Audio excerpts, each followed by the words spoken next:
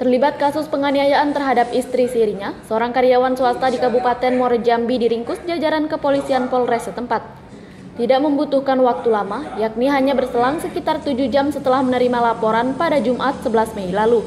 Satuan Reserse Kriminal Polres Muaro Jambi akhirnya berhasil membekuk pelaku kasus kekerasan dalam rumah tangga berinisial AS.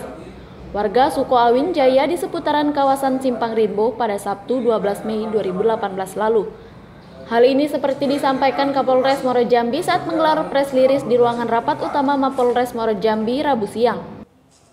Dan menaskan panji kembali yang untuk ditembakkan di tubuh korban, termasuk memanaskan pisau yang rencana eh, korban sempat melarikan diri, jadi tidak sempat.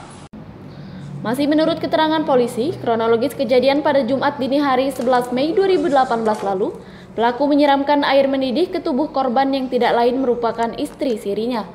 Setelah itu pelaku lalu menempelkan panci pemanas air tersebut ke badan korban. Tak cukup sampai di situ, pelaku pada saat bersamaan juga diketahui memanaskan pisau yang disebut-sebut akan dihujamkan ke tubuh korban. Belum sempat menjalankan aksinya, korban berhasil kabur melarikan diri.